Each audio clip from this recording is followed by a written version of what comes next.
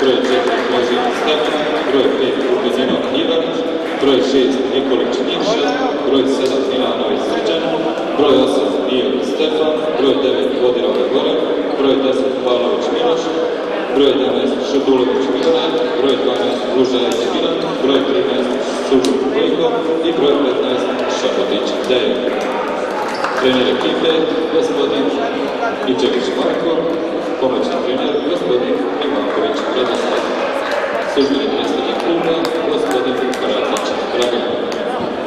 Ekipa Radnik igra u sljedećem sastavu, broj 4 kapitan Radovan Radomir, broj 5 Tomaš Bojan, broj 6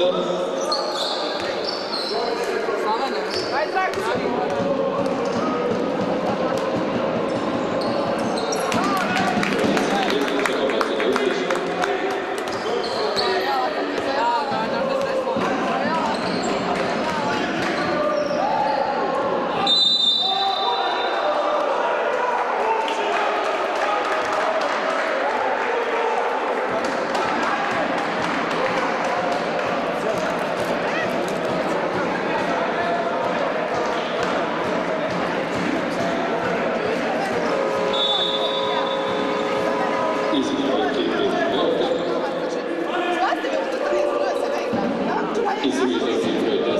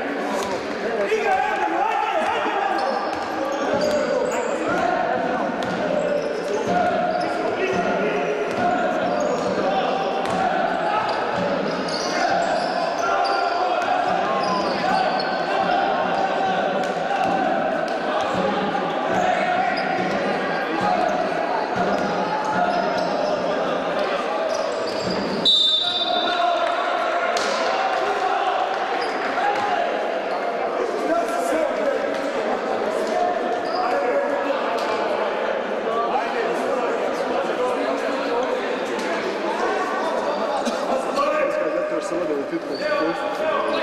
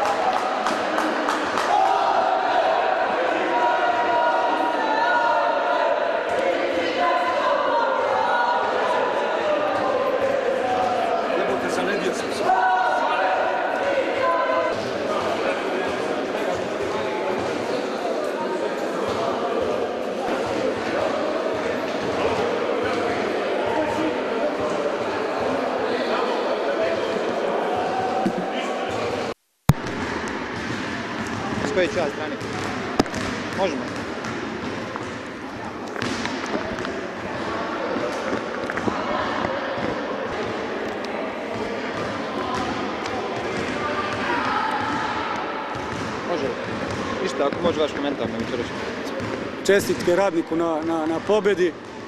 Mi smo bili oslabljeni sa dva igrača neigranja, dva najstarija Vukadinova i Duleta Markovića koji se provedio pred utakmicu.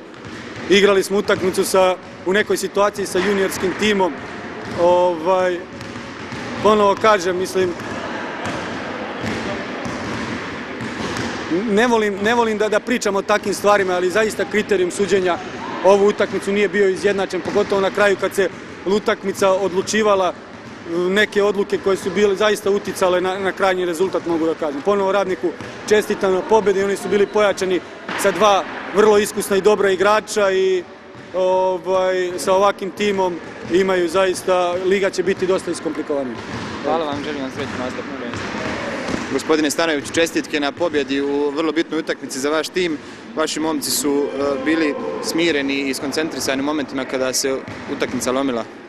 Naravno, utakmica protiv Leotara je za nas bila, da kažem, možda i najvažnija utakmica o- do kraja ovog dijela prvenstva, obzirom da je to jedan od konkurenata za naš cilj, a to je opstanak i da je jako, jako neugodna i nezgodna ekipa sa igračima gdje skoro sva petorica iz petorke mogu da pogode za tri poena u jednom visokom procentu šuta. E, pritom mi smo dobili u četvrtak dva nova igrača, znate period od tri dana je jako mali period da bi se jedna utakmica ovaj, spremila na najbolji mogući način i da bi dva nova igrača ušla u sistem. E, praktično dolaskom e, iskusnog Damjanovića i Bojana Pelkića dobili smo ono što je falilo ovoj ekipi, a to je e, dva igrača koja mogu da igraju na pozicijama bliže tabli, praktično na centarskim pozicijama i nadam se da ćemo uz još neke male korekcije definitivno oko nove godine kompletirati naš tim. Naravno, e, naš cilj je iz utakmice u utakmicu da probamo da se dobro spremimo i da rastemo i da probamo da dobijemo. Čekaju nas dva teška gostovanja. Idemo u Višegrad protiv Varde i posle toga u Sarajevo. Jednom od te dve utakmice, da kažemo, najavi, mi bi jako puno dobili ako bi uspjeli da dobijemo. Praktično, ako ne bi nekim svojim kvalitetom to obezbijedili, nismo puno ni izgubili, jer praktično ova ekipa računa da će utakmice koje igra kuć uz neku na stranu da obezbijedi svoj opstanak. Hvala i sreću u nastavku prvenstva. Hvala i vama.